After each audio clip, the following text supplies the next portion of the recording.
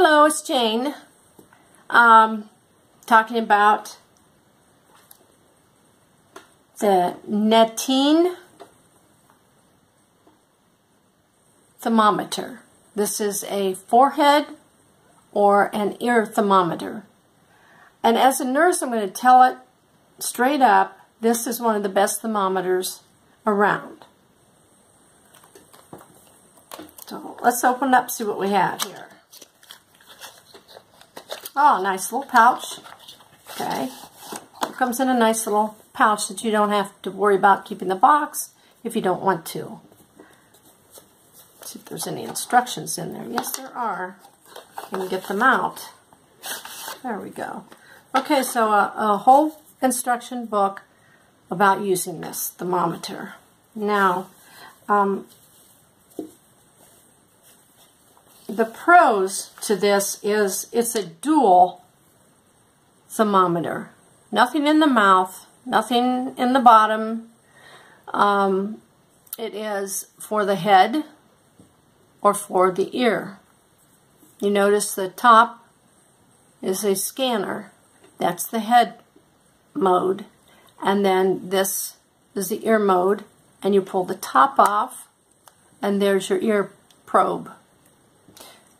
Okay, so make sure what, if you use the ear probe or when you use it that uh, the patient's, your child or yourself or whoever, um, their ear is clean because it will get wax in it and you do have to clean it out anyway. So I would use some alcohol in that.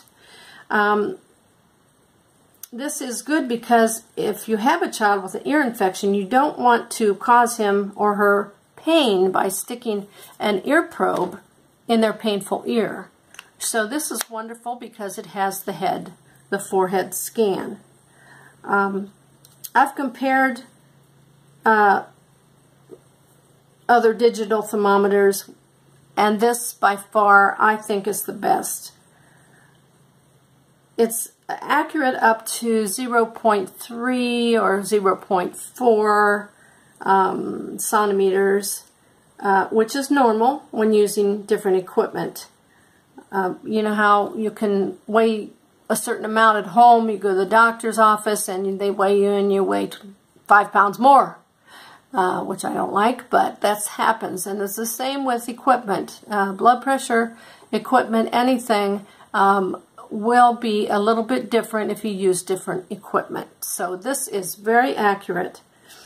And uh, the ease of use, it reads temperatures in a second. Wow. Uh, so, and it has memory recall, uh, which it'll hold, I believe, um, 20, yeah, 20 uh, um, readings. Sorry, I'm stumbling over my words. So I'm going to lift the camera up here and show you that Take my glasses off here. Okay, so I'm going to do the head forehead thermometer. And you push this and you scan over the top. It will make a sound when it's there. I heard the sound. 98.1 is my reading for my forehead. I always recommend that you clean this off afterwards. We're going to do the ear part. And when you do an ear thermometer uh, reading, don't push it in. It just needs to go on the outside. There's a um, ray that goes through and hit and bounces off your tympanic membrane. So just push ear. Hopefully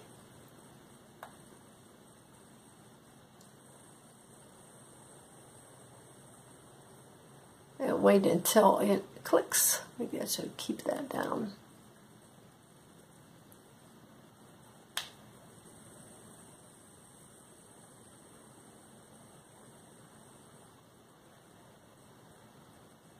I think the reason it's taking so long is I didn't clear it from the forehead one.